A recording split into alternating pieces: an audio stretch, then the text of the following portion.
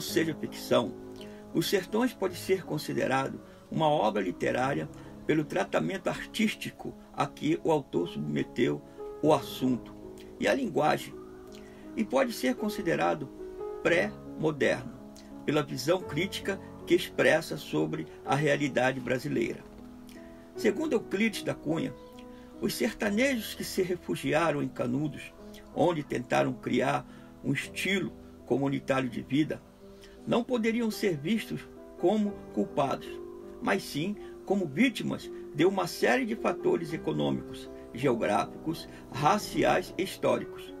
Abandonado pelo governo, a população miserável do sertão, formada pela mistura do branco com o negro e o índio, foi ficando cada vez mais isolada e acabou formando comunidades fechadas e muito atrasadas culturalmente, facilitando o surgimento do misticismo e fanatismo religioso. A figura carismática e impressionante de Antônio Maciel, chamado Conselheiro, cumpriu o papel de líder místico, aglutinando em torno de si uma multidão de sertanejos miseráveis, sedentos de esperança e de melhores condições de vida.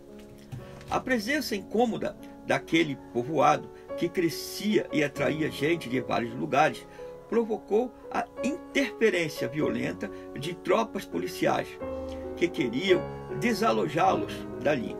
Apesar da diferença de recursos, a resistência obstinada dos sertanejos, para quem a luta se revestia de caráter religioso, foi tornando o combate cada vez mais feroz.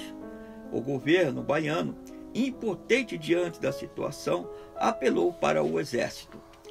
Nos confrontos iniciais, as forças do governo sofreram muitas baixas, animando os sertanejos e indignando ainda mais o exército, que resolveu armar uma verdadeira operação de guerra para destruir Canudos, o que finalmente aconteceu numa carnificina impressionante.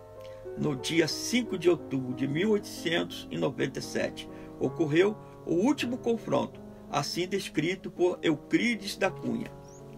Canudos não se rendeu, exemplo único em toda a história, resistiu até ao esgotamento completo, expugnado palmo a palmo, na precisão integral do termo. Caiu no dia 5, ao entardecer, quando caíram seus últimos defensores, que todos morreram. Eram quatro apenas: um velho, dois homens feitos e uma criança, na frente dos quais rugiam raivosamente cinco mil soldados.